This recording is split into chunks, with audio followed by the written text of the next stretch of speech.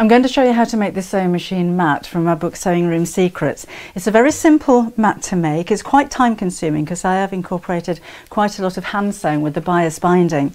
But you're going to be learning techniques as a beginner sewer, such as quilting, basic quilting, adding bias binding and mitring corners as well. So there's not a lot of steps, although it does take quite a lot of time to make because of the quilting and because of the hand sewing, but I think you'll agree it's worth it. So let's take a look at how we make it. I've cut my fabric to 36 inches by 16 inches, but you can make your mat longer, narrower, wider, whatever kind of length that you like.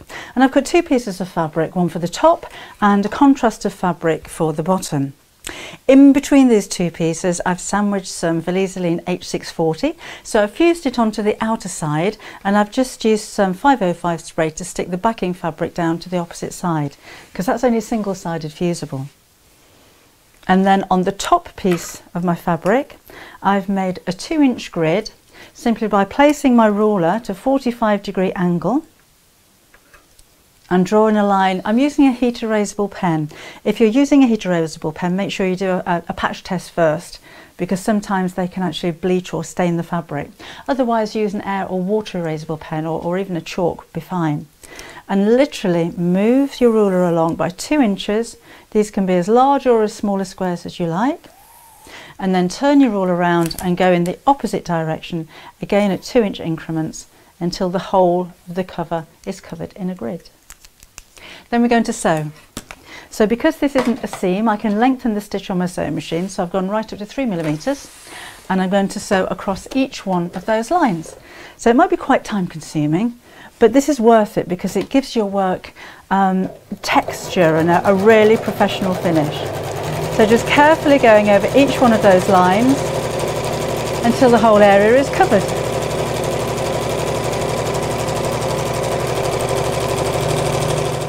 So that's all my quilting finished and you can see what a what a difference it makes. It really does add another dimension and it also of course helps to keep all the layers of the wadding and fabric in place as well. So let's make the pocket. So we're going to turn one end over by five inches.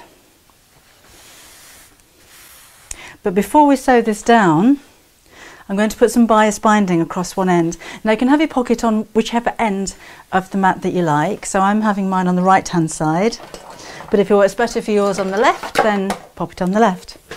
So I'm cutting a piece of bias tape slightly larger than what I actually need because I can trim it down to size afterwards. And for this section, we're going to open it out with the edge of the binding lining up against the edge of the fabric, sew along that crease, and then we'll fold it over and the rest of it's going to be sewn by hand. You could do all of this on the sewing machine if you prefer, but I actually like the look of the kind of the neat look from the outside uh, or the top side of the fabric because you don't see any stitches. So again, it might be something that takes a little bit longer to do, but it's worth it.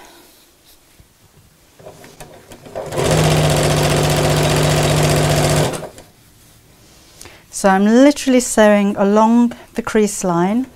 I'm not pinning with this, I find it much easier not to.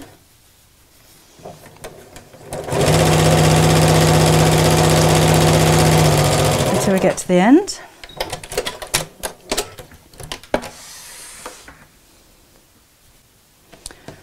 And then I'm going to take a needle and thread, wrap the bias binding now over the edge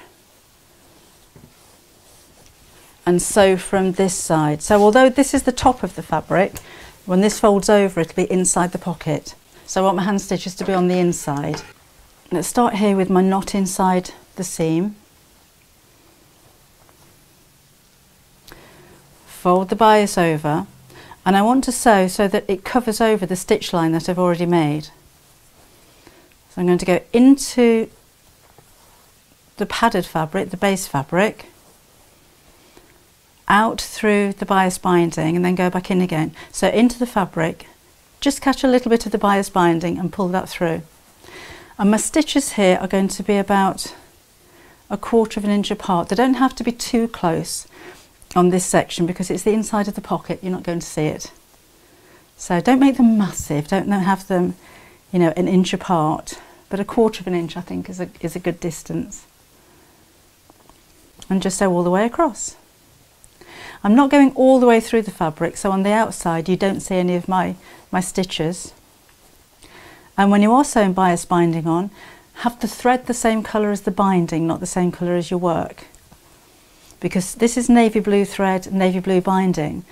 You don't see the stitch on the binding, but because the stitch on the work, or on this section, goes inside, you don't see any stitches on the white fabric.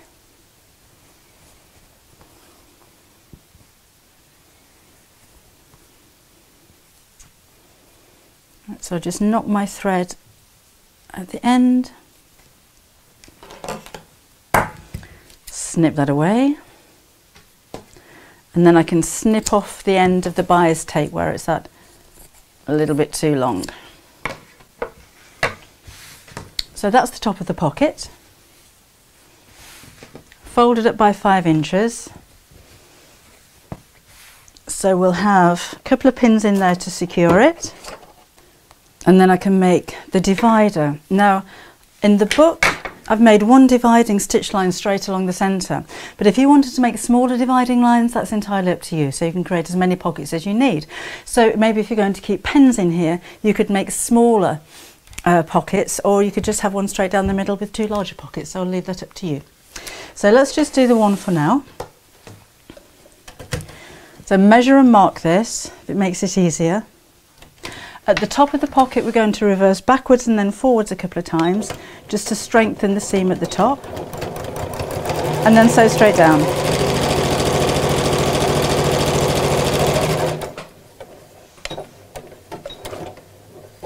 what I'm also going to do is to sew just along the edge just to hold that pocket in place before we put more bias binding on.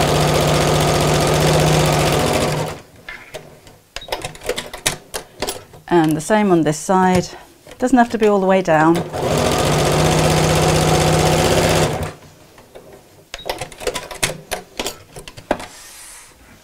And now I can take out the pins. And snip away that thread. So there's my two pockets. So now we'll put on the rest of the bias binding so just like before, I'm going to sew the bias tape all the way down the side, across the top and back down the other side, but leave the end of this overhanging by about an inch or so, because that way when we come to making the, the hand sewing on the other side, we can fold the end of this under and make it nice and neat. So leave that overhanging, open it out and we'll sew all the, down, all the way down to the end but we'll mitre the corner when we get there as well so I'll show you how to do that too.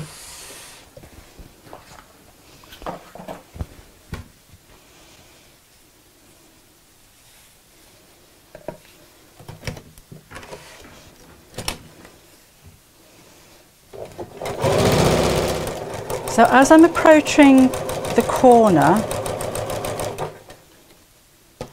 I want to stop sewing this distance from the end of my work. So I can feel where the edge of the fabric is here. I'm just going to mark that, but you don't need to do this. This is half an inch, so I want to stop sewing half an inch here. So in effect, I've got a little half an inch box.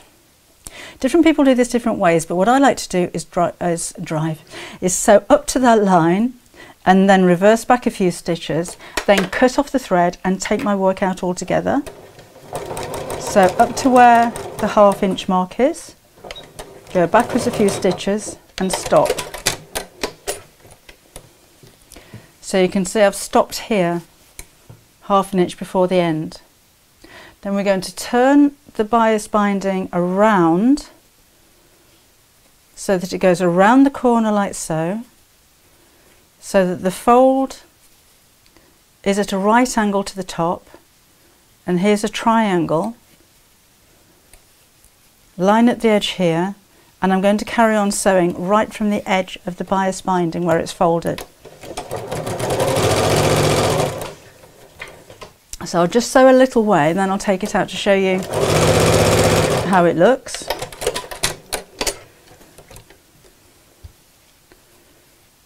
So now when I turn the bias binding over and fold it around the corner, I've got a lovely neat mitered corner. And when I come to hand sewing on the other side, I'll do the same again, fold this over and create that lovely sharp mitered corner. So let's do the same with the next corner.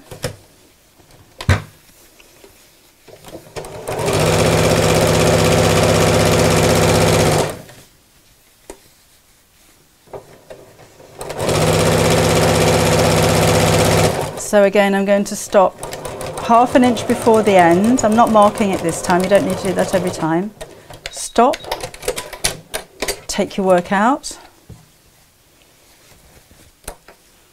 Turn this around the corner. Make sure the fold is at right angles to the top of the mat and then sew.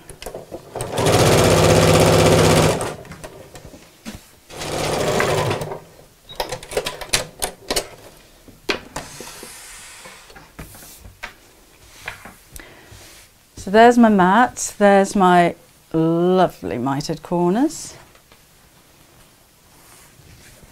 So just like I did with the top of the pockets, I'm going to turn this over to the wrong side and hand sew this all the way around. When I'm at the start and the finish, I'm going to fold the end over, let's open that out, fold the end over and then wrap the bias binding around. So I get a nice neat end there as well. So there's my mat finished. I've got those lovely neat mitered corners and the ends of the bias tape here are finished really nicely. So all I need to do is to put this over the edge of my table, sewing machine on top, and we'll get sewing.